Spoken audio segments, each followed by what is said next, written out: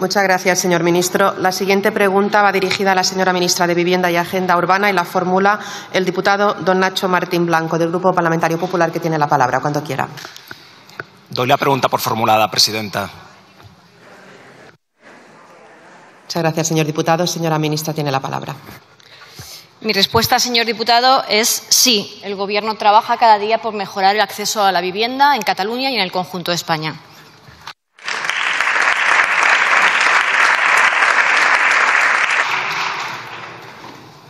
Muchas gracias, señora ministra. Señor diputado. Gracias, señora ministra. Bien, pues eh, la verdad es que su respuesta resulta bastante insatisfactoria.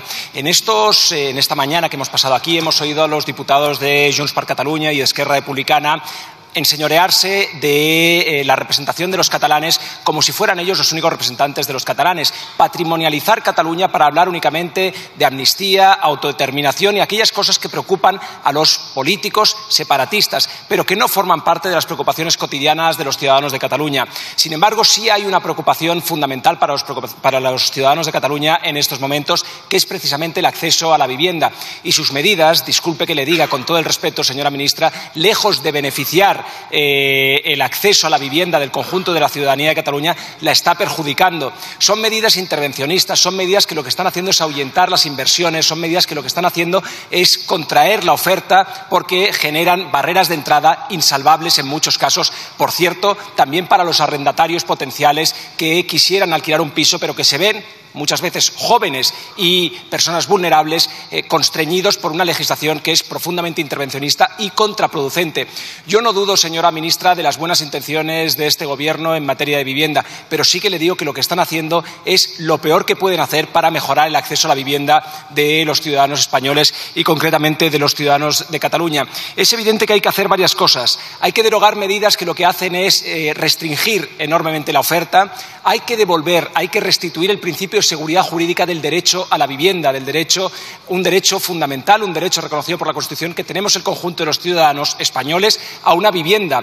Los ciudadanos de Cataluña vemos con enorme preocupación como una deriva intervencionista tanto de los gobiernos autonómicos como del gobierno eh, central, del gobierno de España, nos está conduciendo a un alza de precios absolutamente desbordada. En los últimos diez años en Cataluña se ha disparado la vivienda en un 80% y, en la última década en Barcelona se ha duplicado el precio de los alquileres. Por tanto, lo que nosotros decimos es que lo que hay que hacer es reducir las trabas administrativas y facilitar eh, la construcción y la promoción de vivienda, tanto pública para alquiler como de carácter privado. Cataluña no está condenada a ser la no está condenada a ser eh, el vagón de cola en España, sino que puede volver a ser la locomotora de España. Gracias, señora ministra.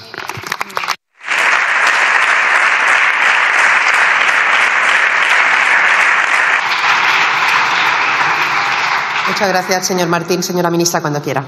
Gracias, señoría. Celebro escucharle hablar del derecho al acceso a la vivienda. Lo celebro realmente y tal vez eh, usted y yo tengamos mucho más en común de lo que cree.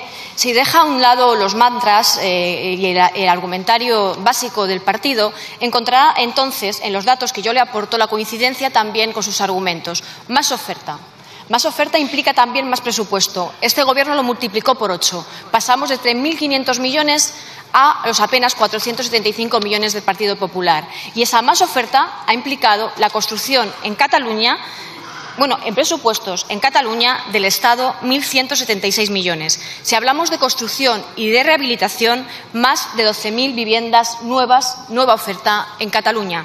Me hablaba usted de más recursos, también más financiación. Ayer mismo el Consejo de Ministros aprobaba un gran paquete en avales y en préstamos que suponen 8.500 millones de euros destinado a los promotores, a las familias y a los jóvenes para seguir ampliando ese parque público de vivienda y garantizar ese derecho a la vivienda. Me decía eliminar las trabas. Claro que sí. Y poner el derecho a la vivienda por encima de la especulación, que es lo que hicimos ayer con la eliminación también, con la inicio de la eliminación de las Golden Visa. Y me hablaba usted, me hablaba usted, señoría, de algo muy importante en la política de vivienda, que es la seguridad jurídica, sin duda. Y en eso también vamos a dar pasos. Y además espero contar con el apoyo del Grupo Popular. Vamos, y ya está en esta Cámara, a iniciar el trámite de modificación de la ley del suelo para agilizar los planeamientos urbanísticos, pero no para agilizarlos para cualquier cosa, para agilizar los planeamientos urbanísticos para garantizar el derecho del acceso a una vivienda. Y sí, suelo porque es imprescindible el suelo y por lo que este Gobierno está trabajando y con lo que conseguimos con la ley de vivienda es que el suelo protegido, el suelo público, que se pone con recursos públicos a disposición de la ciudadanía, siempre, siempre, siempre será para el interés público.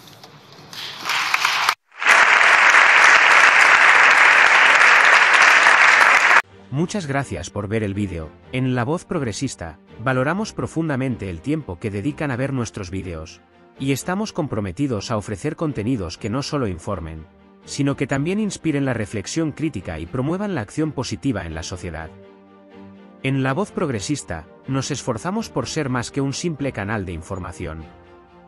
Buscamos ser una plataforma comprometida con la equidad, la diversidad y la inclusión Valores fundamentales que creemos son esenciales para la construcción de un mundo más justo y sostenible. Cada vídeo que producimos refleja esta dedicación, ya que abordamos una amplia gama de temas desde una perspectiva progresista.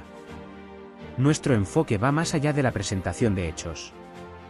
En cada vídeo, nos sumergimos en análisis profundos y opiniones fundamentadas, con el objetivo de fomentar la reflexión y el diálogo constructivo. Creemos que la información se vuelve más significativa cuando se presenta con contextos y perspectivas que desafían y enriquecen la comprensión de los espectadores. La importancia de la justicia social y el cambio positivo resuena en cada entrega. Desde análisis políticos que desentrañan complejas dinámicas hasta exploraciones culturales que celebran la diversidad, la voz progresista se compromete a ser una fuente integral de conocimiento y perspectivas progresistas. Nos esforzamos por ser una voz auténtica en la conversación global sobre los desafíos que enfrenta la sociedad actual. Al unirse a nuestra comunidad progresista, no solo se convierten en espectadores, sino en participantes activos en el diálogo que estamos construyendo. Sus comentarios, preguntas y opiniones son elementos clave que enriquecen nuestra comunidad y contribuyen a la diversidad de pensamientos. Invitamos a todos a suscribirse, a participar en la conversación y a ser parte de este movimiento progresista que busca generar un impacto positivo en el mundo. En la voz progresista, creemos en la importancia de la educación continua y el aprendizaje colaborativo. Cada vídeo es una oportunidad para explorar nuevos horizontes, desafiando prejuicios y ampliando nuestra comprensión colectiva. A medida que nos aventuramos en distintos temas, desde cuestiones políticas hasta desafíos medioambientales y derechos humanos. Invitamos a nuestra audiencia a acompañarnos en este viaje de descubrimiento y crecimiento. La palabra progresista en nuestro nombre no solo es un título, sino un compromiso activo con la construcción de un futuro más equitativo y sostenible. Nos esforzamos por ser una fuente confiable de información, pero también un catalizador para la acción.